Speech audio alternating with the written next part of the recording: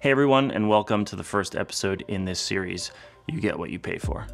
If you haven't yet watched the introduction to this series, I encourage you to go and do that now so you can get a bit of background information into who I am and understand my motivation behind this series. Today, I'm here to talk about my love for the Sachtler Aktiv 8 and Aktiv 10 heads with Flowtech 75 and 100 carbon legs after almost two years of using them exclusively everywhere and anywhere.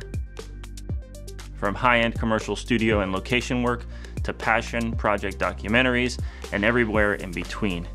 These sticks have been in and out of cars, under heavy grip equipment, planes, vans, endlessly being opened and closed, raised and lowered, falling off of carts onto the sidewalk, into dirt, in the rain and in the mountains. And they both look and function perfectly still. I want to talk through three main categories their build quality, their usability and features, and I want to break down some financials.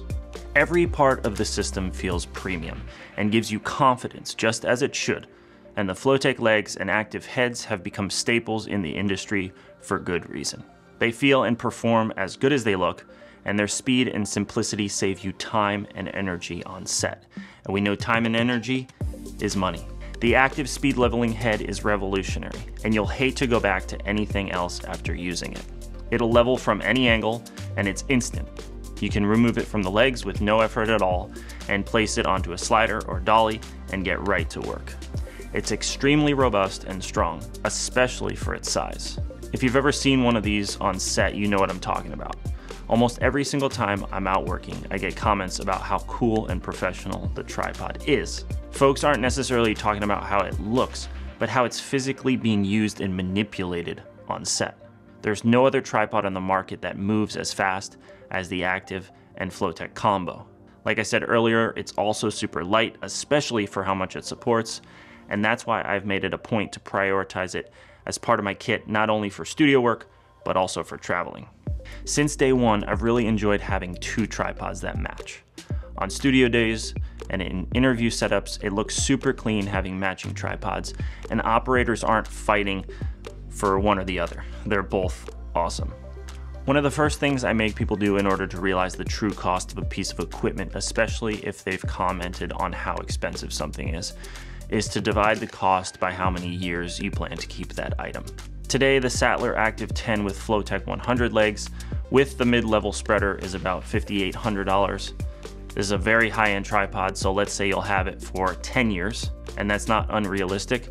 There are countless rental houses and owner-operators across the country that have 10, 15, and 20-year-old Sachtler and O'Connor tripods still working and being rented out today. So that cost divided by 10 years is about $580 per year. For comparison, the Aktiv 8 with Flowtech 75 legs is about $3,700 or $370 per year. I charge my clients to rent these tripods out for 90 and $65 respectively. I understand that not everybody is in the rental business and not everybody is even charging for their equipment. I know for me, it probably took six or seven years in first the photography and then videography businesses before I started charging for equipment that I was bringing to set. But since, especially recently, this is a very real and viable business for not only me, but others, I want to start sharing those financials and that insight to help you make smart decisions. I want you to be able to afford the equipment that you want and need. I want you to be able to have a lot of fun doing what you love and I want you to be profitable. You get what you pay for, and these tripods are absolutely as good as it gets. Thanks for watching, and we'll see you in the next one.